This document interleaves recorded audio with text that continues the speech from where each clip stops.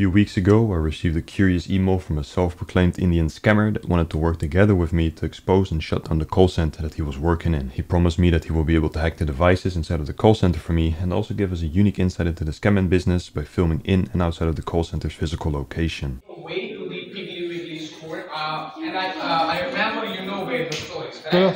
Of course, I was intrigued. I accepted his offer and laid personal contact with him so that we could discuss a plan to successfully dismantle this fraudulent call center. I first needed to verify that this guy was not wasting my time, but he already proved himself before I even asked by sending me his exact GPS position, and he was indeed in India. He also sent me this footage of a birthday celebration that he had recorded a couple months before in a different call center, so I knew that this guy wasn't messing around.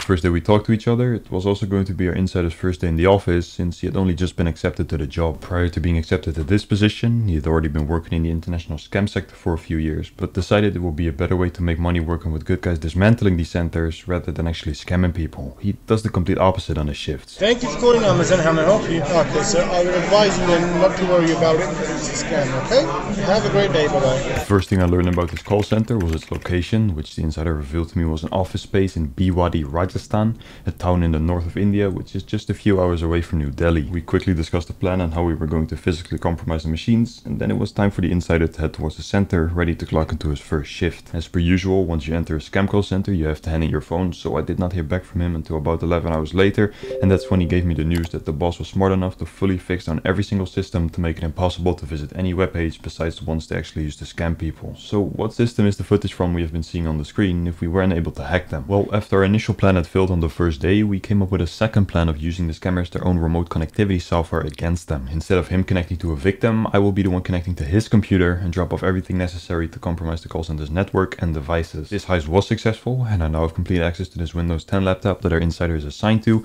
but the only problem is that this laptop isn't really interesting as it's not being used to take calls, the webcam is taped, and our insider isn't actually there to scam anybody. His only job in this Amazon scam variant is to receive phone numbers from colleagues, with which he then logs into the victim's Amazon account by sending out a one-time password to that number and grabs their information so that the other scammers can convince people that they are truly from Amazon. How so? Well, they will read out things like the victim's last order on the account, their address, name, card numbers, and pretend that this information came directly from Amazon's database. and I believe you're using this account from Illinois.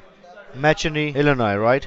McHenry, you're living at McHenry, Illinois, right? And what I see over here, miss, there is a couple of credit cards and a debit cards also linked with your Amazon account. It's yeah, it's your bank's cards and your credit card, which I see over here, which is under your name. So you have only this card with you, your debit card ending in 2523, right? Oh wow, okay, this guy knows everything about me, so he has to be from Amazon, right? Well, no, it's actually an Indian fraudster using a technique of logging into people's accounts, which is becoming increasingly popular among scammers. With Amazon is not as dangerous, the scammers could perhaps order a gift card for themselves if you have your cards linked, but usually Amazon catches onto this and marks as a suspicious order. The problem becomes a lot bigger when, for example, PayPal scammers are using this method to gain access to your finances. Here we can see a scammer casually changing somebody's PayPal password with an OTP and gaining access to their account from which they could do a lot more damage than from an Amazon account. Anyways, moving back to the Insider's Amazon Center, the footage we have just now seen was recorded from a different laptop and also has a different scammer operating the device. It turns out that the same software I showed before, from which the scammers can communicate with each other on their local network, is not so useful when there are hackers present in that same network. It was however surprisingly difficult to pivot from the Insider's machine to the other devices, since all the scammers in this call center had a fully locked down Windows 10 machine with antivirus, and they were even cautious enough to use Tor browser in combination with a VPN to hide their location. Because of all these security measures, I was unable to spread to all agents, but on three machines I was able to bypass the security, which included the laptop of the boss.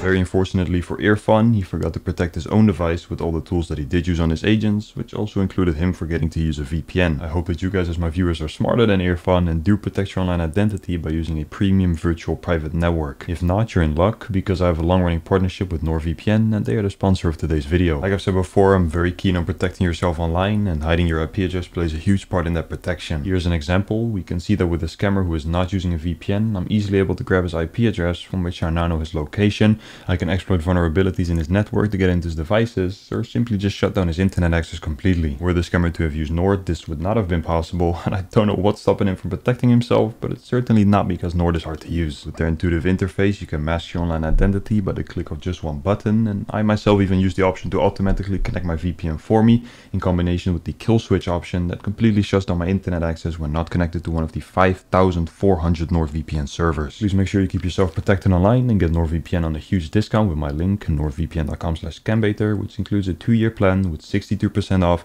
and one additional month for free. Again, only way go to nordvpn.com slash scambaiter. Anyways, like I mentioned, I managed to spread to the boss's machine, on which I found a lot of interesting things, but I first wanted to monitor the Asian laptop that I spread to to see which version of the Amazon scam these guys have come up with. I see over here it is an international hacking attack which is going on in your account and what I see over here it is not your Amazon account which is compromised right now it's your IP address which is compromised these hackers they hack down your internet and once your internet got hacked they get into your device and they are monitoring each and every activity that you're doing in your device. I have bad news for you. These hackers they are very clever. They are using your credit line over here and what they had done they applied a fresh loan like a new loan from amazon of $5000 they have the access of your social security as well so right now this is a case of identity theft That is the first phase of the scam done, which is the scammer saying a bunch of scary words like hacker, identity theft, and credit line to scare victims into doing something stupid. That something stupid is going to be driving to a local grocery store and buying thousands of dollars in gift cards for these scammers. In this case, we need to put a block on those hackers. We need to remove these intruders. In order to put a block on those hackers, I'm going to take the help of the Amazon secured server and I'm going to open a blocking file for your account. So I'm putting this call on hold. Please do not mind my silence. Okay, I am not able to generate any blocking codes online for your account as your account is compromised from the international locations. In this case, what we're gonna do, we are going to take the help of the offline blocking codes. It's like a 16-digit alphanumerical code which you find on the back of the Amazon privilege card. I see over here exactly you don't have any Amazon store available in your area. You have a third-party store in your area where you find this card. Do you have any store named Meijer in your area?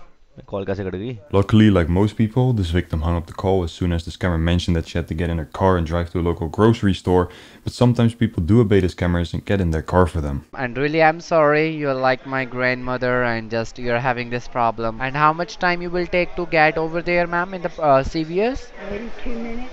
Oh, that's wonderful. Once you will be there, let me know, okay? Are you there? Okay, this is a target card. Like, these are the security cards through which we will we are gonna block the hackers, okay? You'll have to go and get four security cards, each one of $500 and that can be Target or Sephora, okay? But I'm not doing that. All right, what I'm starting to think is you're the one ripping me off.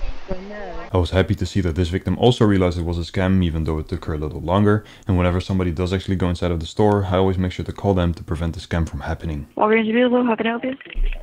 Yes, hello. Uh, I want to report a fraud.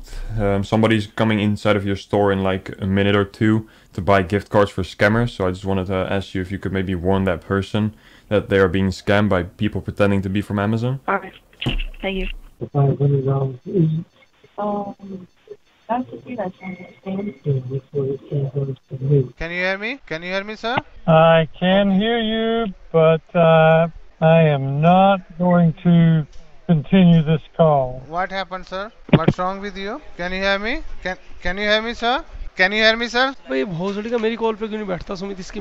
It might seem hard to believe that people actually fall for this, but it's usually minor coincidences that make victims get sucked into these kinds of scams. It's kind of weird because like a week ago, I got a thing from Yahoo wanting to verify that it is me and that I need to change my uh, password right away. So maybe this is why. Whatever it is that convinces people of this pitch, it seems to be activated in a lot of victims since these guys steal from about 5 people a day. So how much money do they make with this? Well, for that we would have to know how much they steal per person on average. And the thing is that before they even steal from people, I already know how much they are going to steal because of their interaction with the boss. I haven't yet shown a lot of his role in this scam, but he actually does play a huge part, from which the first involvement is when one of his 15 scam agents has a new victim that is convinced and is a serious contender pretended to steal money from. This is when the agent sends a message to the boss on LMC, asking him to send out a fake text message to the victim, pretending like Amazon has provided them with sufficient credit to pay for the gift cards. This text message credit amount is the equivalent of how much they're going to steal from this person, which on average is about $1,500.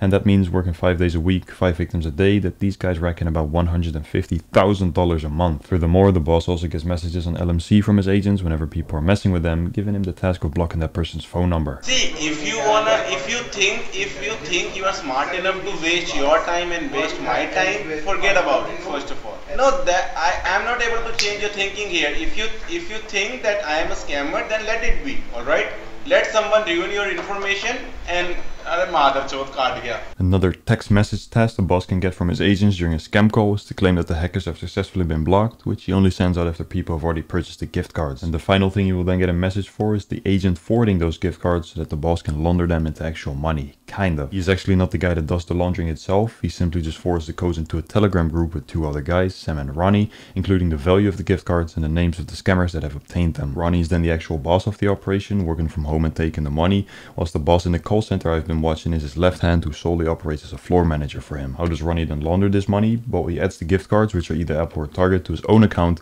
and starts ordering items to a money mule in the United States, which are mostly high value electronics like laptops, TVs or phones that are easy for the mule to resell on sites like eBay and OfferUp. If Ronnie is the money man, then who is Sam? Well, Sam seems to be the phone guy responsible for getting call flow to this fraudulent campaign because every time there was a problem with the phone system, the boss in the call center would ask him for help. One time Sam even connected to the floor manager's computer with AnyDesk to help resolve a login issue, and that's when I managed to reverse the connection on him. We can indeed see that Sam has a lot of files on his computer to do with the scammers their call system. He's logged into the admin panel and has a list of emails that they use in their fraudulent campaign stored on his computer desktop. I've reported all these emails to Voxify, which is their PBX host, but they have yet to respond to me and the scammers their phone numbers are unfortunately still up and running. Not only have I reported them to their phone provider, I also tried making a police report against them since I have their exact location, footage inside of the call center, and of course the footage of them actually scamming people. The physical footage was provided to me by the insider, who in total sent me one picture of the outside of the building, one video inside of the call center, and one video of him walking into the call center. Then what you're doing is you're going up the stair here, all the way number two level floor. Level two number floor.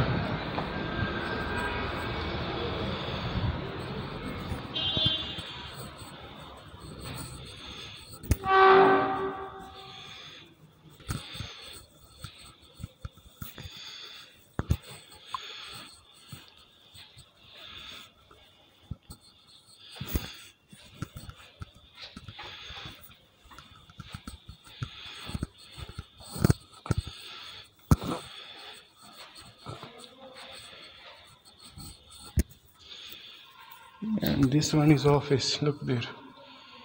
Is a scam call center. Inside there. Is a scam call center. After providing me with these three pieces of material, the insider safely left the call center after only working there for two days. But before leaving, he did make sure to untape the webcam of his assigned device.